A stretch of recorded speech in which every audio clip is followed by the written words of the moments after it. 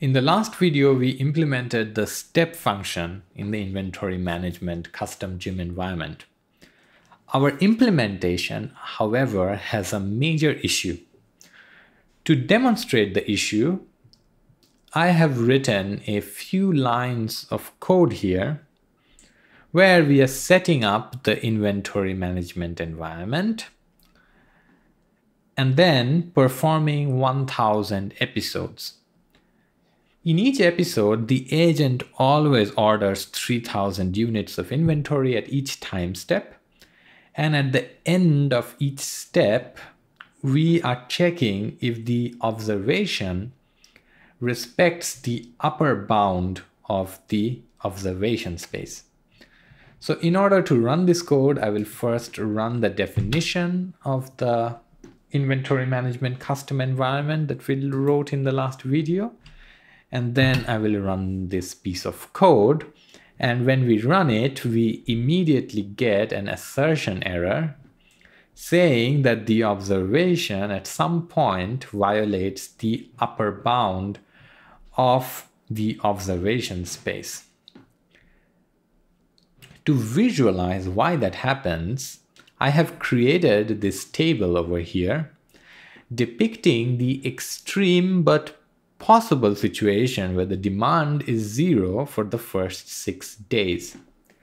In this case, the ordered inventory uh, in each day start arriving on day number five and they start accumulating and already at day number six the on-hand inventory exceeds the max shelf capacity which is 4000 so to prevent this kind of unbridled accumulation, we need to keep track of the total number of units that are already in the inventory or will eventually arrive in the shop, which is given by this slice of the observation. In the worst case that the demand stays zero, all of these units are eventually going to arrive in the shop and stay there in the inventory.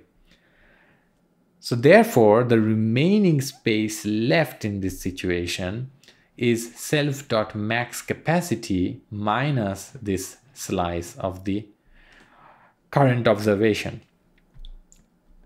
To ensure that at no point we are exceeding our max shelf capacity, our buys need to be lower than this number, the remaining shelf capacity, if we are to respect the observation bounds. We can express this by writing the buys as the minimum of these two quantities. The following table shows how the observation will look if we imposed this additional constraint, as you can see in this equation.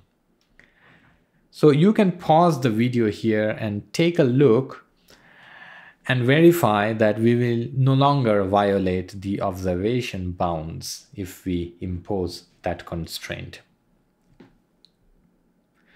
This is an example, so this statement is an example of action post-processing due to a constraint. And what you need to keep in mind is that this kind of action mapping by post-processing can affect performance significantly, the performance, uh, the learning performance of the agent. Since the agent thinks it is performing a particular action, but actually a different action is being executed in the environment.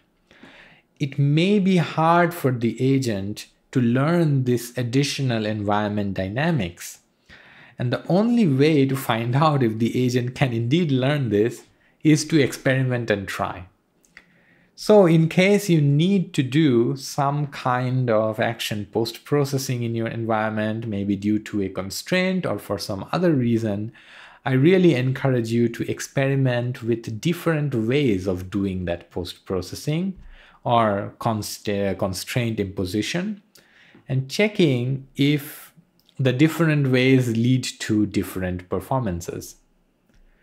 Finally, one more lesson we learn is that even if the environment implementation seems correct, as it did in the last video, it might still contain some bugs.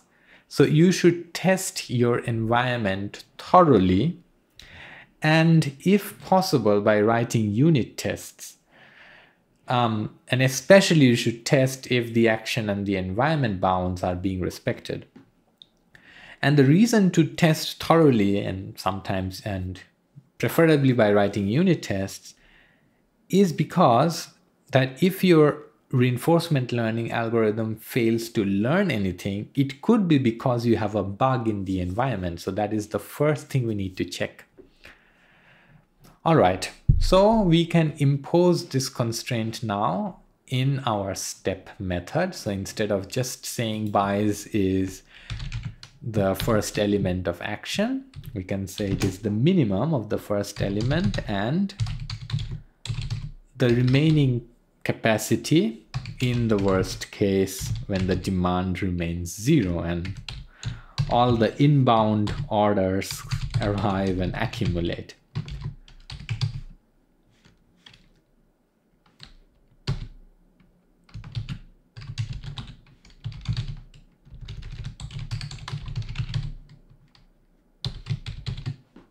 All right. So that really completes our implementation of the step method. So at this point, we have implemented three of the four required methods for a custom gym environment. The render method is still remaining, but we will use an empty implementation because we don't want to display the state of the environment graphically, the observation arrays are a good enough representation. So I mean, this is a good enough representation. We will leave the other two optional methods empty as well. We don't need the close method at all in this environment since we are not using any threads, graphical windows or browsers in the environment that needs to be closed. The implementation of the optional seed method will come later in the course when we will actually need it. All right, so now we have a working version of the inventory management environment with an exposed gym API. That means we can now plug in RLlib into this environment and see what the canned RLlib algorithms like PPO can learn. We will do that in the next video.